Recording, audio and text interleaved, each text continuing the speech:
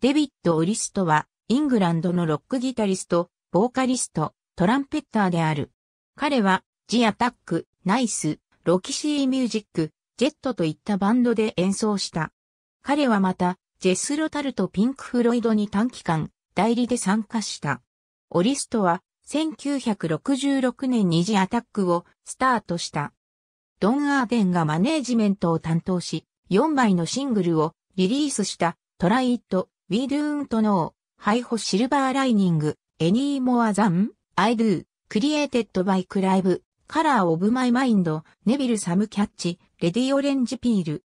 オリストは1967年2月にジ・アタックを脱退し、オルガン奏者で、ピアニストのキース・エマーソン、ベーシストで歌手のリー・ジャクソン、ドラマーのヤン・ヘイグと共に、P.P. アーノルドのバックバンドであるナイスのギタリストとしてアンドリュー・ルーグ・オーレダムに見出された。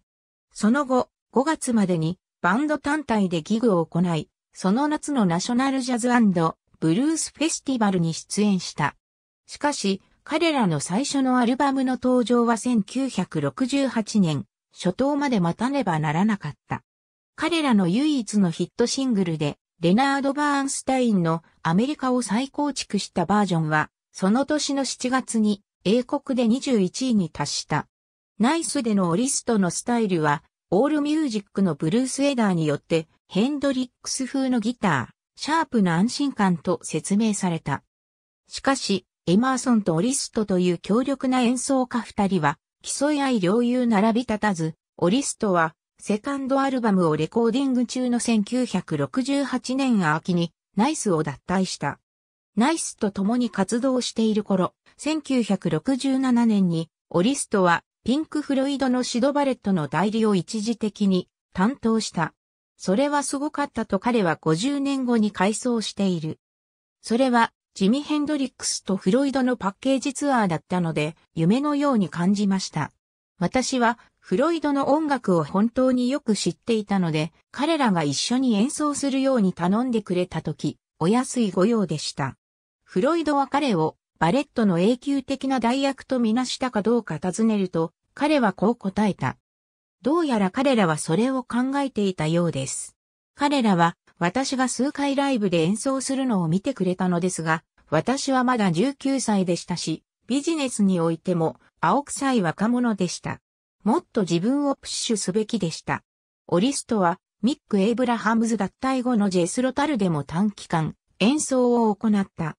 1970年初頭に、オリストはザ・ミス・アンダーストゥットへ参加し、1971年10月から1972年2月までの間にロキシーミュージックへ参加してギターとベースを提供した。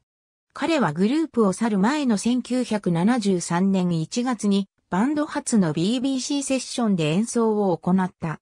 オリストは1974年にロキシーミュージックのボーカリストであるブライアン・フェリーと再会した。それは、フェリーの2枚目のソロアルバム、アナザータイム・アナザー・プレイスのギタリストの一人としてであった。ザ・イン・クラウドというヒット曲のフェリーによるカバーには、オリストのギターソロがフィーチャーされている。ロキシーミュージックの後、オリストは1974年にジェットに加入した。彼らは1975年に1枚のアルバムをリリースし、イアン・ハンターミック・ロンソンのサポートとしてツアーを行った。オリストはフライト・オブ・ザ・イーグルというタイトルのソロアルバムを1997年にリリースした。2枚目のソロアルバム、セカンド・ソーツは2015年にリリースされている。オリストはバンドプレイヤーであるだけでなく、サツ・レッドモンドという妻もいる。彼の息子は2008年5月18日に生まれ、名はジェームズ・レイマンヌという。ありがとうございます。